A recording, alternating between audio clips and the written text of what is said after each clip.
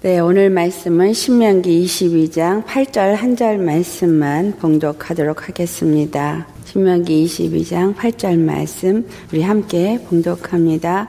내가 새 집을 지을 때에 지붕의 난간을 만들어 사람이 떨어지지 않게 하라. 그 피가 내 집에 돌아갈까 하노라. 이 신명기 말씀을 우리가 보면서 얼마나 자상하게 우리 주님은 우리에게 말씀하고 계시는가를 느끼면서 오늘 이 아침에 또 말씀을 나누면서 너무너무 감사하고 또 감사합니다. 매일의 예배가 우리에게 없다면 이 말씀을 매일 우리에게 주시지 않는다면 우리는 얼마나 순간에 실족할 수 있을까. 그런데 오늘도 또 이 말씀을 통해서 우리로 하여금 또 말씀 위에 서게 하시는 주님의 은혜가 너무나 감사합니다. 자, 여기서 내가 새 집을 지을 때에 라는 말씀을 하세요. 그 새 집을 지을 때에 지붕에 난간을 만들어서 사람이 떨어지지 않게 하라. 사람이 만약에 떨어지게 되면 그 죽음이 그 집에 임하게 되어지고 그 사람의 죽음으로 흘린 피가 그 집에 돌아가게 될까 하여서 지붕에 난간을 만들라 이런 이야기를 하는 것입니다. 자 오늘도 이 말씀을 통해서 오늘 내게 주시는 말씀 무엇인가? 이스라엘 백성에게 어떤 율례와 규례를 주어서 새 집을 지을 때에 지붕에 난간을 지으라라고 한 그냥 그런 말이냐 아니면 이것이 오늘 나에게 분명하게 어떠한 하나님의 말씀을 주시는 것이냐 우리는 알아보아야 하겠습니다. 자 여기서 새 집이라고 그랬어요. 새 집. 그렇다면 헌 집도 있다라는 얘기죠. 옛 집이 있고 새 집이 있다라는 얘기예요. 자, 이스라엘 백성에게 옛집은 어디가 될까요? 애굽에서 살던 집이 옛집입니다. 그렇다면 새 집은 그들이 이스라엘 땅에 들어가서 가나안 땅을 정복한 이후에 그들이 짓게 되어지는 집을 말하고 있습니다. 이 집이라는 히브리어의 단어는 알파벳 두 번째 해당이 되는 배시라는 단어인데요. 이 배시라는 단어가 집이라는 의미를 갖고 있고 또 다른 의미로는 아들이라고도 그들이 그 단어를 사용하고 있고 또 아주 높은 사람, 지극히 높은 사람으로도 표현되고 있습니다. 그래서 여기서 말하고 있는 집, 옛집과 새 집을 우리가 살펴보고자 한다면 우리 주 예수 그리스도의 집, 우리 주 예수 그리스도 지극히 높으신 하나님의 아들과도 우리가 이것을 연결해서 생각해 보아야 한다라는 것입니다. 애굽에서 그들이 종살이를 할 때에 살던 집이 옛집입니다. 그런데 그 옛집에서부터 하나님은 그들을 건져내셨어요. 그 옛집, 그들이 지었던 옛집, 애굽에서의 집은 바로 종살이를 하던 집이었다라는 것이죠. 그런데 그 종살이를 하던 집에서부터 여호와를 이끌어 내신 그 날, 그 밤에 그들에게 필요했던 것은 어린 양의 피였습니다. 그 어린 양의 피를 그 옛집에 발름으로 인해서 그들은 사망의 권세에서부터 건짐을 받게 됐고 애굽의 종살이에서부터 건짐을 받은 하나님의 백성이 되었습니다. 이 옛집을 생각하고 이 새집을 생각하게 하는 이 말씀을 우리가 바로 하나님의 구원과 연결해서 우리는 생각해 보아야 한다라는 것입니다. 이스라엘의 옛집인 이스라엘의 종살이에서부터 건지신 하나님은 그들에게 새 집을 주셨는데 이 옛집과 새 집 사이에는 반드시 어린 양의 피가 있었다라는 사실이죠. 자, 우리 주 예수 그리스도의 십자가의 그 보혈이 우리로 하여금 옛사람, 바로 죄와 사망의 종이 되었던 우리의 삶, 우리의 인생의 삶에서부터 우리를 건져내서 하나님의 사랑의 아들의 나라로 옮기셨다라고 골로새서 1장 13절에서 14절의 말씀이 말씀하고 있습니다. 흑암의 권세에서부터 우리를 건져내서 하나님의 아들의 사랑의 나라로 옮기셨다라는 이 말씀은 바로 옛집에서 살던 우리의 종살이 죄의 종이었던 삶에서부터 우리를 예수 그리스도의 십자가의 피 흘리심으로 말미암아 하나님의 나라 그 집에 거하는 새 집에 사는 자가 되게 하여 주셨다라는 것입니다. 그래서 여기서 지어지는 새 집의 의미는 바로 예수 그리스도의 십자가를 통해서 우리에게 지어지는 믿음의 집을 의미하고 있다라는 것입니다. 자, 이 믿음의 집은 다른 말로 바꿔서 말하면 우리 심령 안에 세워지게 된 새 집을 의미하죠. 우리 심령에 세워진 새 집은 무엇을 말합니까? 고린도전서 3장 16절 말씀에 성령이 너희 안에 거하는 것과 너희가 하나님의 성전인 것을 알지 못하느냐. 자, 우리 심령 안에 새롭게 세워진 새 집은 죄에게서부터 벗어나서 새롭게 세워진 새 집은 바로 하나님의 성전이 되어지는 하나님이 집이구나 라는 걸 알 수 있습니다. 고린도 전서 3장 9절 말씀을 찾아서 우리 봉독하겠습니다. 고린도 전서 3장 9절 말씀. 찾으셨으면 우리 한 목소리로 봉독하겠습니다. 우리는 하나님의 동역자들이요. 너희는 하나님의 밭이요. 하나님의 집이니라. 아멘. 우리 심령이, 이렇게 성경에서는 다른 단어로 우리 심령을 표현하고 있어요. 우리 심령은 하나님의 밭이라고도 표현하고 있고 하나님의 집이라고도 표현했어요. 그러면서 또 하나님의 동역자라고도 말을 합니다. 하나님의 집이 어떻게 하나님의 동역자가 될 수 있느냐? 요한복음 14장 1절로부터 3절의 말씀을 보면 예수님께서 내가 아버지 집에 가는 것이 너에게 유익하다 하시면서 아버지 집에는 거할 것이 많도다. 내가 이제 아버지께 가서 너희가 거할 처소가 준비되어지면 너희를 영접하여 내게 있게 하리라 하는 말씀을 합니다. 여기서 말씀하고 있는 집, 하나님의 집, 이것이 우리의 심령이 되어지면 하나님의 동역자가 되어지는 우리 심령은 바로 예수 그리스도가 하늘에 올라가서 성령을 우리 가운데 보내주시고 우리의 거할 처소, 하나님의 그 처소를 짓는 그 일을 하는 일에 성령이 우리 안에서 그 일을 하고 계시기 때문에 우리는 그 일을 함께하는 하나님의 동역자가 되어진다라는 거예요. 내가 하나님의 집이 되어지고 또한 하나님의 밭이 되어진다는 것은 이스라엘은 하나님의 포도원이요. 또 하나님의 밭이라고 표현되어져 있어요. 또한 우리 심령이 그와 같이 하나님의 포도원, 하나님의 밭인데 이것이 집이구나라는 걸 알 수 있습니다. 그런데 이 집이 어떻게 세워져야 될 것이 이 고린도전서 3장 10절로부터 말씀하고 있습니다. 나는 집을 짓 때 이제 이것은 옛집이 아니라는 거예요. 새 집입니다. 할렐루야. 옛집은 죄의 사람의 집이었어요. 하지만 예수 그리스도를 내가 나의 구세주로 영접한 그 순간부터 예수 십자가에 그 피를 뿌림으로써 나는 새 집을 짓는 자가 되어진 겁니다. 새 집을 짓는데 이 집을 내가 혼자 짓는 것이 아니라 이 새 집은 우리 주 예수께서 보내주신 성령님과 함께 지어지는 집인 것입니다. 그래서 이 집을 지을 때는 잘 세워야 된다. 10절 말씀. 내게 주신 하나님의 은혜를 따라 내가 지혜로운 건축자와 같이 터를 닦아둠에 다른 이가 그 위에 세우나 그러나 각각 어떻게 그 위에 세울까를 조심할지니라. 집을 짓는데 새 집을 짓는데 어떻게 지어야 되는지를 아주 조심해서 세워야 되는 거예요. 11절 말씀 우리 같이 봉독합니다. 이 닦아준 거 외에 능히 다른 터를 닦아둘 자가 없으니 이 터는 곧 예수 그리스도라. 사도 바울이 지금 복음을 전하고 있습니다. 그 전하는 복음은 바로 예수 그리스도의 십자가의 복음을 전하고 있어요. 예수 그리스도의 십자가의 복음을 전하기 때문에 그는 자, 자기가 지혜로운 건축자와 같이 터를 닦아준다라고 말하고 있습니다. 바로 우리가 집을 짓는 새 집은 어디에 터 위에 집을 지어야 하는지를 말하고 있어요. 이 새 집은 바로 그 터가 되시는 우리 주 예수 그리스도의 십자가 위에 집을 지어야 한다라는 거예요. 예수 그리스도의 십자가가 바로 우리의 집을 짓는 터다라는 거죠.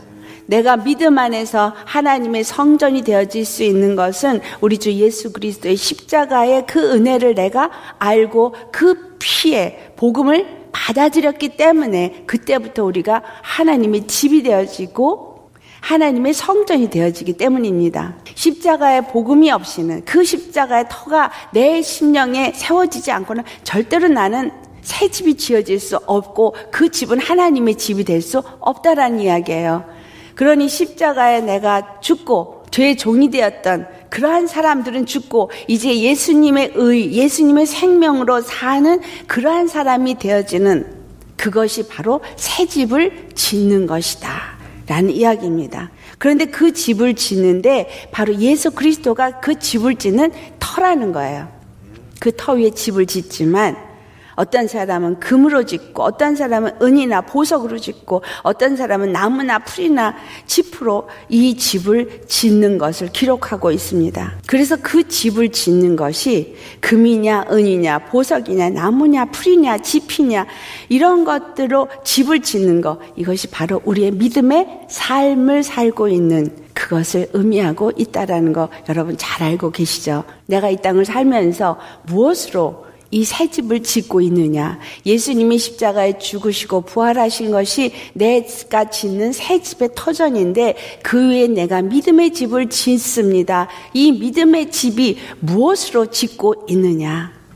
주님께서 그 사람의 공적을 나타내고 밝히시기 위해서 불을 보내실 때에 공적이 그 불에 의해서 다 타버린다면 아무런 상이 없고 불 가운데서 구원을 받는 것 같이 되어진다라고 표현하고 있습니다.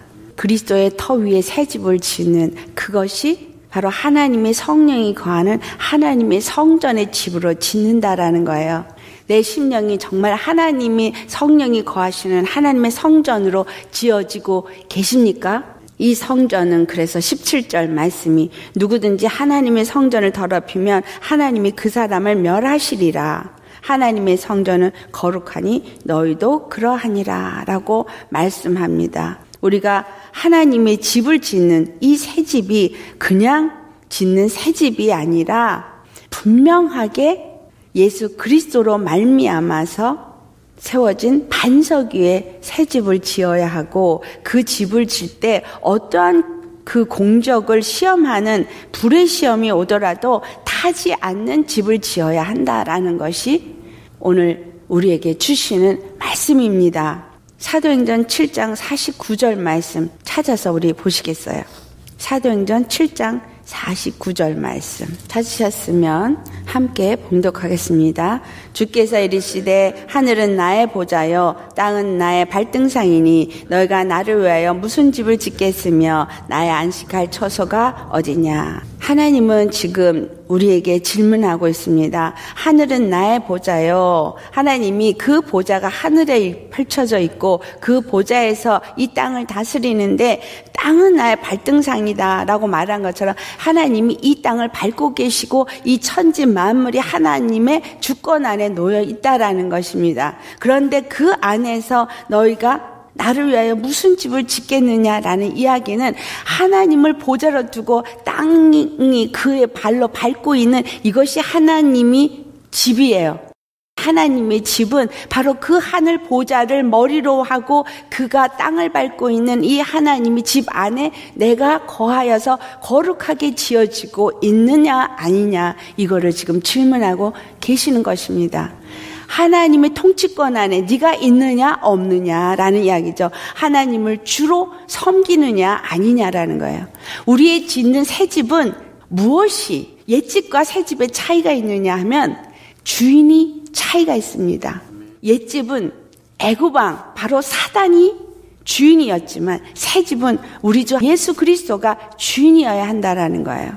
그의 주권 안에 내가 살고 있는 자가 되어야 한다는 겁니다. 내가 이 땅에서 믿음의 집을 짓고 있고 하나님이 거하는 집을 짓고 있다고 하는데 나의 안식할 처소가 어디냐라고 말하면 네가 정말로 나의 새 집을 짓고 있다면 내가 거할 처소를 짓고 있다면 내가 너 심령 안에서 정말 안식할 수 있는 처소가 되어지고 있느냐라는 질문입니다. 우리 짓고 있는 새 집은 하나님이 들어오셔서 안식할 수 있는 처소가 되셔야 합니다. 하나님이 마음 놓고 거하시고 하나님이 마음 놓고 일하실 수 있는 처소가 새 집이에요. 바로 그 가나안 땅에 모든 일곱 족속을 다 내쫓고 그들이 땅을 기업으로 얻고 그리고 짓게 된 것이 그들의 새 집입니다. 우리가 하늘을 기업으로 얻고 하나님의 나라, 하나님의 백성이 되어져서 하나님이 나의 왕, 나의 통치자가 되어졌을 때 지은 집이 바로 새 집입니다. 이러한 새 집을 지으는 우리는 하나님이 거하실 안식하는 집을 지어야 한다라는 거예요. 이 말은 바꿔서 다른 말로 말하면 하나님이 통치하시는 하나님의 나라 집이 되어져야 한다. 이스라엘 백성들이 가나안 땅에 들어가서 그 가나안 일곱 족속을 물리치고 그들이 기업을 얻고 이스라엘 나라를 세웠지만 그들이 한 일을 결과를 볼때 함께 1장 9절 말씀을 보면 이런 말씀이 있습니다. 너희가 많은 것을 받았으나 도리어 적었고 너희가 그것을 집으로 가져갔으나 내가 불어버렸느니라. 나 만군의 여호와가 말하노라. 이것이 무슨 까닭이냐? 내 집은 황폐하시되 너희는 각각 자기의 집을 짓기에 빨랐음이라.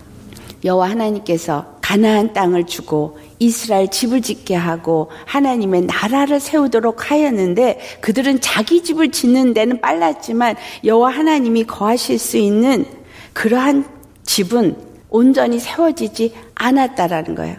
내 집은 황폐했다라는 거예요. 자, 오늘 내 심령이 오늘 예수님을 믿는다고 말하고 또 믿는 자들이 모여서 교회를 세우면서 하나님의 집이라고 말합니다. 그런데 하나님의 집에 하나님이 안식할 곳이 없고 하나님의 영이 운행할 수가 없는 집이라면 그 집은 황폐한 집이다 이 말이에요.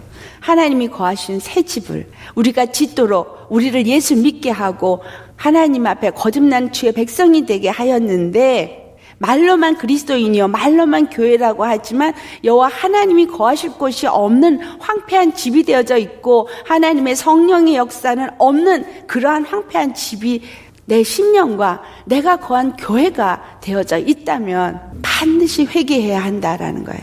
많은 것을 바랐지만 그러나 많은 것을 얻을 수가 없었고 많은 것들을 집으로 가져간다고 하였지만 여호와께서 그것을 불어버려서 하나도 집에 남은 것이 없게 만들어지는 역사가 이스라엘의 역사였어요.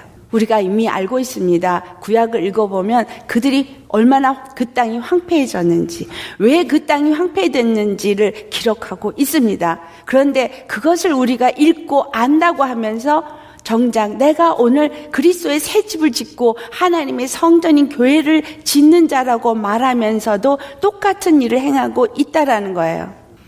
예수님이 십자가에 죽으시고 부활하셔서 우리의 머리가 되어지시고 그리스도의 교회를 그의 몸으로 세우셔서 우리가 비록 이 땅에 있다 할지라도 그 발이 땅을 밟고 있기 때문에 하나님의 권세 아래 놓여져 있는데 오늘날의 그리스도인들이 그리스도의 교회가 예수 그리스도가 머리가 되어지지 아니하고 하나님의 통치권 안에 있지 아니하고 전부 다 자기 집을 짓기에 빠르고 자기 욕심을 따라서 행하고 있기 때문에 무너지고 무너지는 것입니다. 예수님이 오셔서 그 예루살렘 성에 입성하시고 나서 제일 먼저 하신 일이 그 예물을 드리는 상을 엎어버리신 일이에요. 마태복음 21장 13절 말씀에 하신 말씀이 내 집은 기도하는 집이라 일컬음을 받으리라 하였거늘 너희는 강도의 소굴을 만드는도다.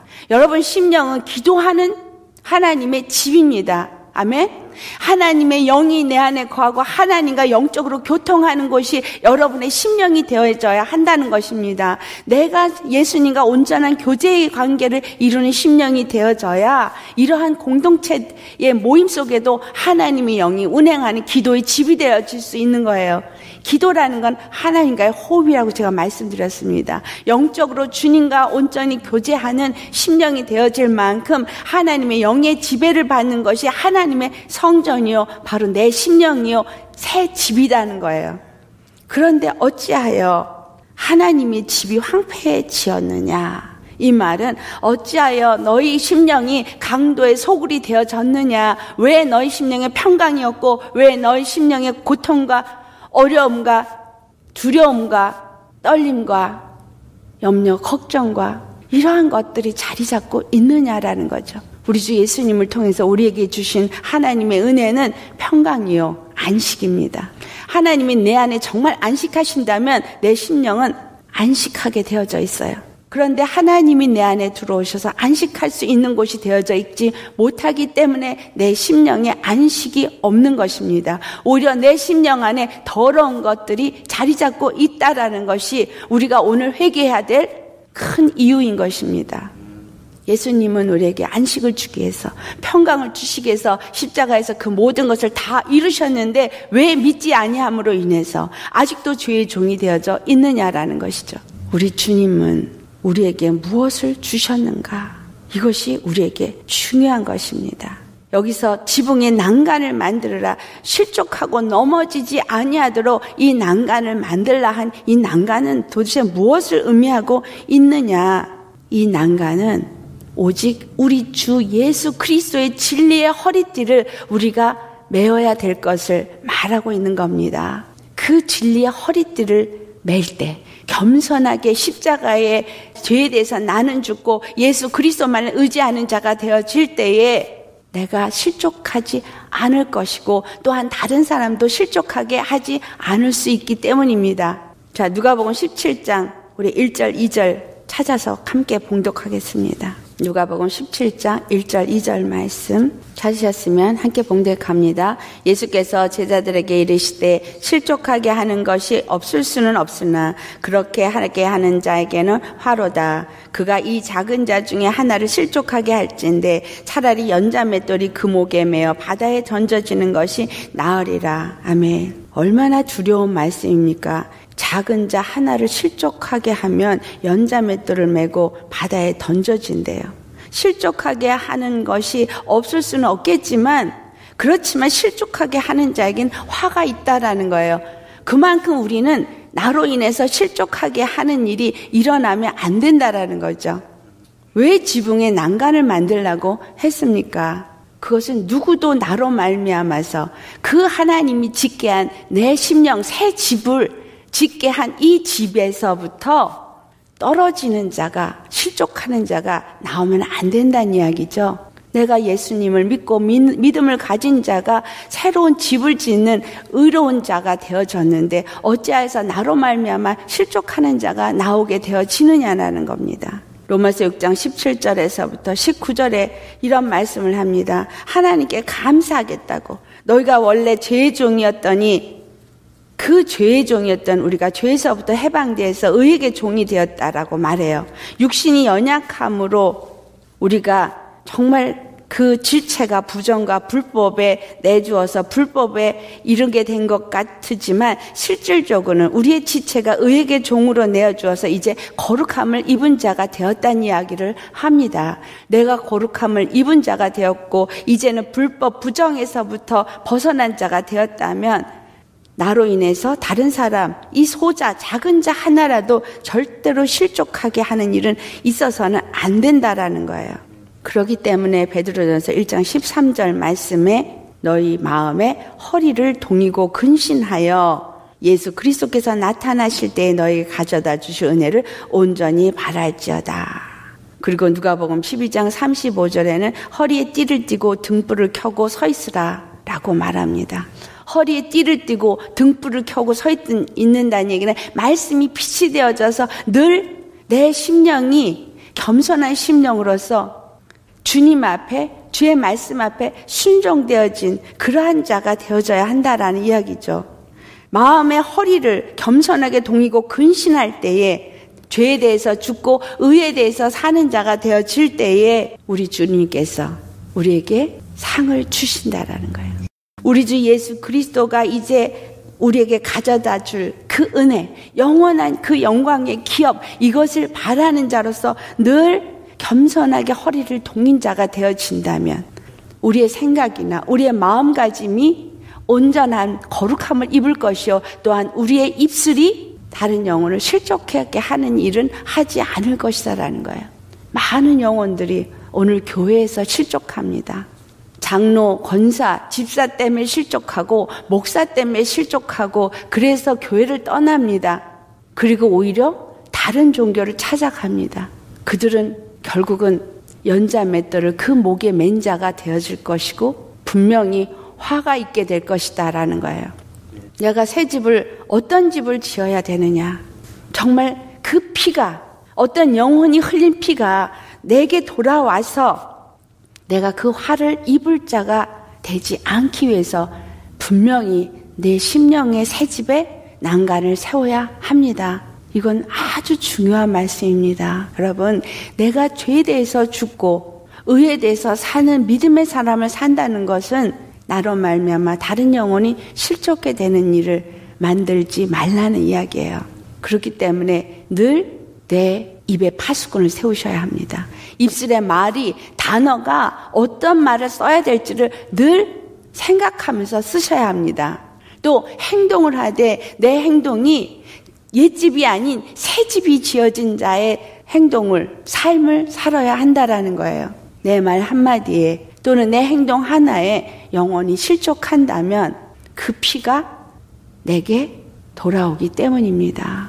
예수님을 그저 믿습니다 말로만이 하는 것이 아니라 정말 믿는 사람은 내 심령에 새 집이 지어지는 것이라는 것을 잘 아셔야 할 것이고 새 집에는 난간이 세워진다라는 것 다른 사람이 떨어져서 그 피가 내게 돌아오지 아니하도록 늘 내 심령의 마음판에 겸손의 허리를 동이고 십자가에 죽어진 자로 살아야 한다라는 거예요. 우리 모두가 이와 같이 새 집을 짓는 자, 어떤 집을 짓는 자, 내 공적을 시험하는 그날에도 절대로 타지 않을 만한 금으로 은으로 보석으로 집을 짓는 자 되시기를 예수로 축원합니다. 반드시 예수님이 죽으시고 부활하신 그 십자가가 터전이 되어지고 그 위에 집을 짓는 참된 믿음의 사람은 십자가를 짊어지고 예수님을 따르는 자입니다.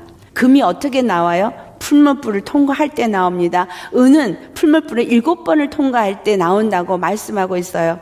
보석은 그 불순물을 다 제거할 때에만 나오는 것이 보석입니다. 그래서 예수님은 우리에게 여러 가지 우리를 정결한 심령으로 거룩한 하나님의 집으로 만드는 일을 하십니다. 오직 믿음으로 그 모든 것을 잘 통과하셔서 아름다운 새 집을 짓고 하나님의 안식하시는 처소가 되어지시기를 예수 이름으로 축원합니다.